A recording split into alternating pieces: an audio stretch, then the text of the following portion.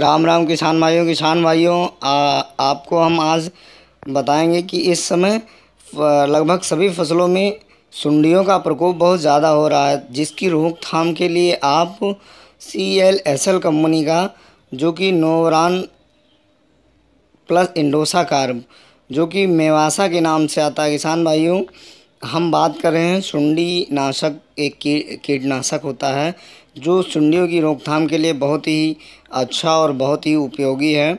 आप इसका प्रयोग लगभग हर हर प्रकार की फ़सल में कर सकते हैं। लौकी, तरोई, बैगन, भिंडी, कद्दू की फ़सल है या फिर गेंदे की फ़सल है या फिर गुलाब की फ़सल है।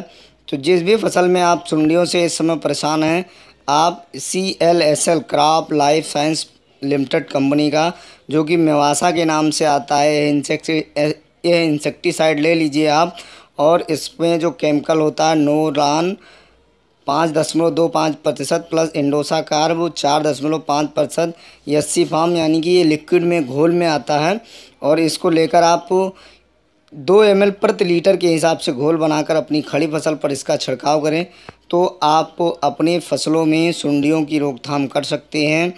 चाहे जिस प्रकार की सुंडी हो, चाहे जो फ़सल हो, जैसे बैगन की फ़सल है, लौकी की फ़सल है, तरोई की फ़सल है, किसी भी प्रकार की फ़सल है, यदि आप अपनी फ़सलों में सुंडियों से परेशान हैं क्योंकि इस समय टम्परेचर बहुत हाई है, इसलिए नॉर्मल दवाइयाँ काम नहीं कर रही हैं, जैसे क्लोरोपाइलेपास प्लस साइपरमेथ्रीन या इमामेक्टिन बेंजोनेट या अन्य कई कीटनाशक दवाइयाँ हैं, जो कि कीड़ों को मारने में इस समय बहुत ज़्यादा अच्छी नहीं हैं कामगार नहीं हैं उन्हें मार नहीं पा रही हैं तो आप C L S L company का जो कि मेवासा के नाम से आ, आती है जैसा कि आप देख पा रहे हैं ये दवा मेवासा के नाम से आती है crop life science private limited company की जिसका आप घोल बनाकर अपनी खड़ी फ़सल पर छिड़काव कर सकते हैं।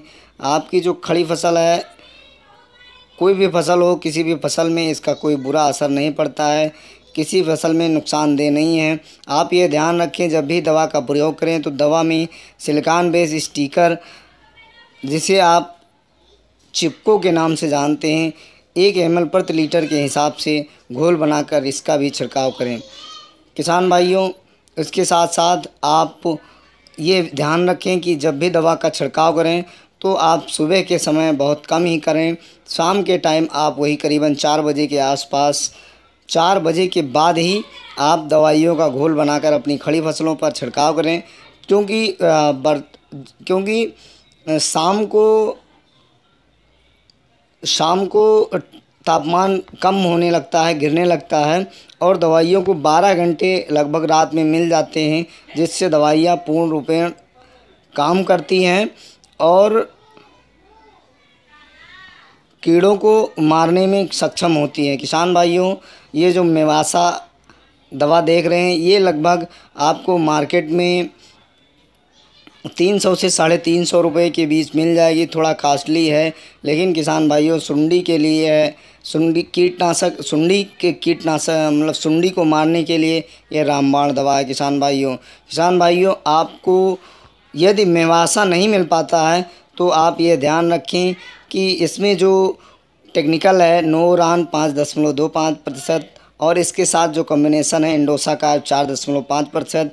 इस कम्बिनेसन का जिस भी अच्छी कंपनी का ये कम्बिनेसन आपको मिल जाए, आप लेकर अपनी फ़सलों पर, खड़ी फ़सलों पर छिड़काव करें तो आप सुंडी की रोकथाम कर सकते हैं। इसका पुनः छिड़काव आप पंद्रह दस से बारह दिन बाद पुनः करें, क्योंकि ये इतना अच्छी होती है कि इसके छिड़काव से करीबन दस से पंद्रह दिन लगभग कीड़े आपके फ़सलों में नहीं आते हैं।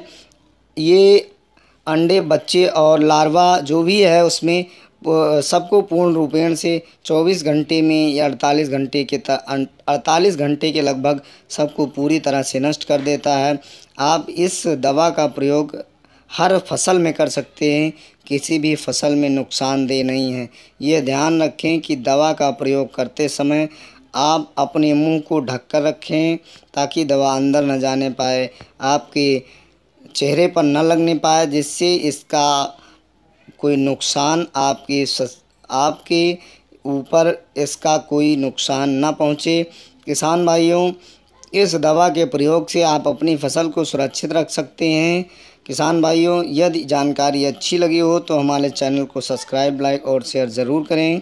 धन्यवाद।